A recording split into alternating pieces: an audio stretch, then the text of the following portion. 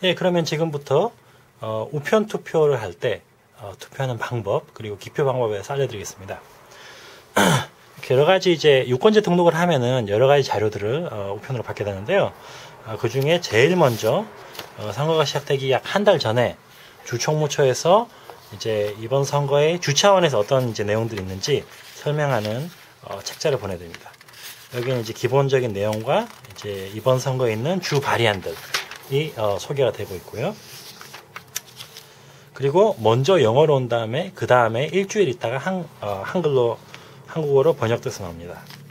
그 다음 받게 되시는 자료는 어, 견본 투표용지, 어, 영어로는 Official Sample Ballot이라는 자료를 받게 되시고요.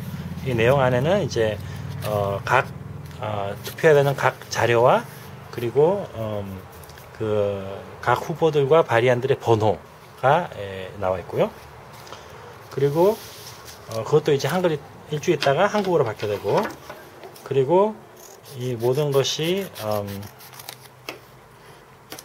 지난 다음에 예, 선거 있기 한 3주 전에는 우편 투표용지를 받게 됩니다. 투표용지 어, 한글 있군요.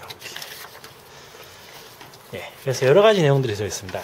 어, 제일 먼저 투표하는 방법 및 어, 그리고 이제 각 후보들의 기표용지. 그래서 기본적으로 이 견본 투표용지와 비슷합니다. 어, 근데 이제 견본 투표용지는 실제로 투표하러 갈 때, 투표소에 갈 때 사용할 수 있고요. 이제 우편 투표를 할 때 전용으로 따로 만드는 거고요. 이걸 받고 한글 신청하신 분들은 한글로 같이 받고요. 그리고 반송 봉투, 방송 봉투를 받게 되고, 그리고 투표 기표 용지, 그리고 저기 이 그 어떻게 기표했는지 숨기기 위한 어, 어, 슬리브가 있고요. 이렇게 네 가지 자료를 받게 됩니다. 어, 그래서 이 책자를 열어서 본인이 원하시는 후보를 표기를 합니다. 그래서 그리고 이제 그 후보마다 보실 때 어, 떤 후보가 어, 그, 그 직책에 후보를 몇 명 뽑아야 되는지 나와 있거든요. 그래서 여기 이제 보트 포 원이고 그리고 이제 다른 어, 교육구나 이제 시의원 같은 경우에는 어, 여러 명을 뽑을 때 있습니다. 그건 여기 적혀 있는 거 참고하시면 되겠고요.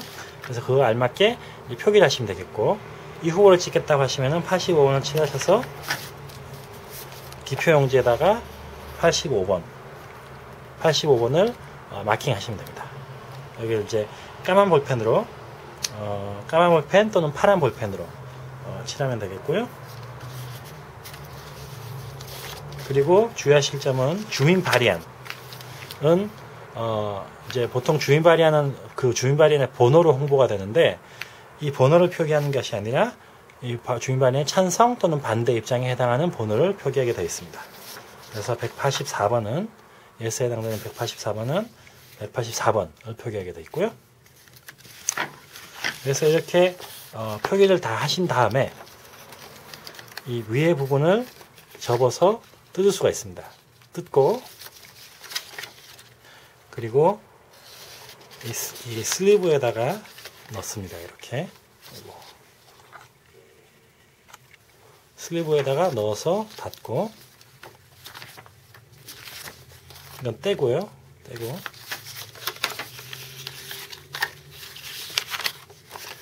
이렇게 이제 어, 반성 봉투에 넣은 후 봉하고 본인의 주소를 쓰고요. 주소 및 사인 및 어, 오늘 날짜 이렇게 쓰고 우표를 넣어서 보내시면 됩니다. 자 이렇게 하는 것이 이제 일반적인 방법이고요. 몇 가지 이제 옵션 사항들이 있습니다. 그 옵션 사항에서 안내드리겠습니다. 제일 먼저 이 투표용지 슬리브에는 어, 사람의 이름을 적어주는 게 있습니다. 이것은 이제 후보 등록 마감에 맞춰서 후보 등록을 안 한 사람이 뒤늦게 출마를 하거나 또는 여러 가지 이유로 해서 후보 등록을 못한 사람들이 출마를 할 때 그 사람들 어, 뽑고자 하면은 그 사람들은 이 투표용지는 안 나와 있습니다. 하지만 그 사람 이름을 여기다 쓸 수가 있습니다. 어, 그래서 그걸 쓰는 공간이고요.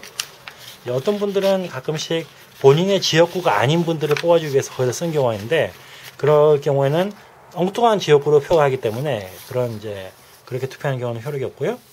그리고 또 한 가지는 여기다가 사인을 해야 되는데 본인이 여러 가지 이유로 사인을 못하는 경우 의식이 없거나 등등 인사불성해서 이제 하여튼 여러 가지로 사인을 못하는 경우 여기다가 뭐든지 흔적을 남깁니다. 뭐 그냥 펜으로 줄을 쭉 긋든지 지문을 찍든지 뭔가를 하고 그리고 이것을 과정을 지켜본 사람이 증인이 여기다가 사인을 하게 되어 있습니다.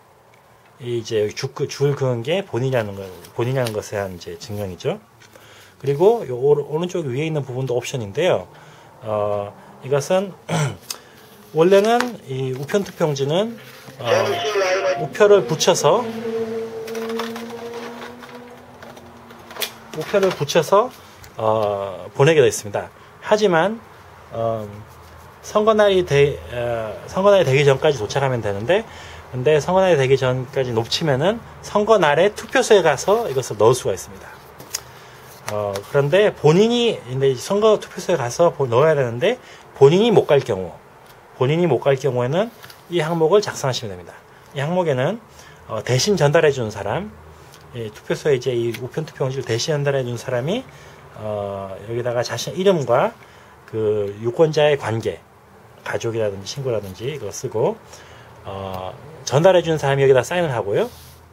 그리고 어, 유권자가 여기다 사인을 합니다. 그러면 이제 본인이 보낼 수 있습니다. 예. 어, 이것이 이제 우편 투표를 하는 방법이고요. 언제든 질문 있으시면은 어, 카운티 선거국, LA 카운티, 오렌지 카운티 등 선거국 또는 민주학교로 연락을 주시면은 어, 저희가 답변을 해드릴 수 있습니다. 감사합니다.